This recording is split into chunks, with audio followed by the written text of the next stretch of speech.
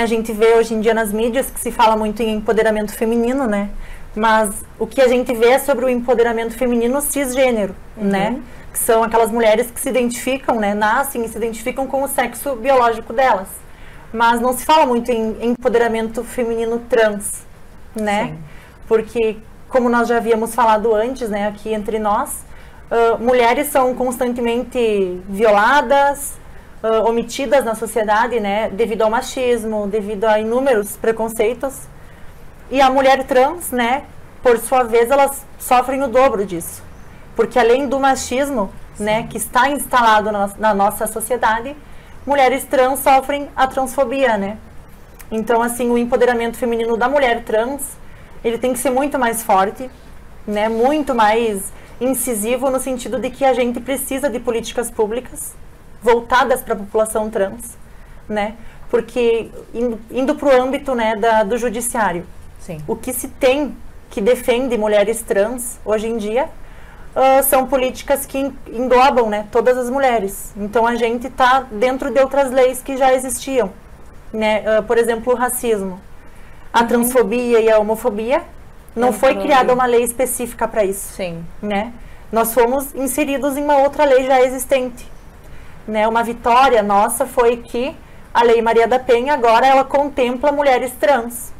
Sim. Né? Mulheres trans que são vítimas de de violência doméstica, assassinatos, enfim, né?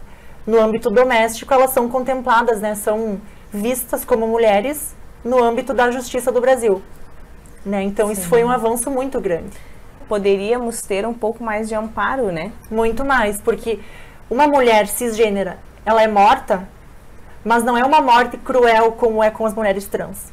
Né? Antes eu estava lendo um dossiê que é da Associação Nacional das Travestis e Transsexuais do Brasil, que é a ANTRA, quem quiser ir lá pesquisar, enfim, tem muitos estudos e pesquisas lá.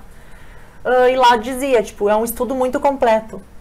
E é sobre mortes, sobre assassinatos de mulheres trans no Brasil. Começou a ser feito em 2017.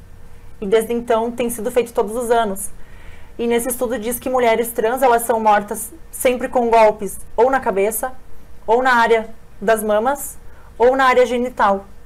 E são mortes com requinte de crueldade, não são mortes como, ah, um tiro, uma facada. São sempre 15 facadas.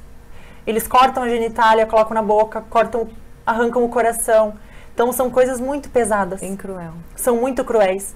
Então eu acho que deveriam ter penas muito mais severas para esse tipo de crime no Brasil, para que não seja tão frequente. Né? Uhum. Né? Porque o Brasil, ao mesmo tempo que é o país que mais consome pornografia uh, trans, uhum. né? se tu entrar em qualquer site que, que tem, né, no seu, lá no seu catálogo, uhum. filmes de mulheres trans, vai estar sempre no topo. Porque o Brasil é um país que mais consome. Sim. E ao mesmo tempo, ironicamente, é o país que mais mata mulheres trans.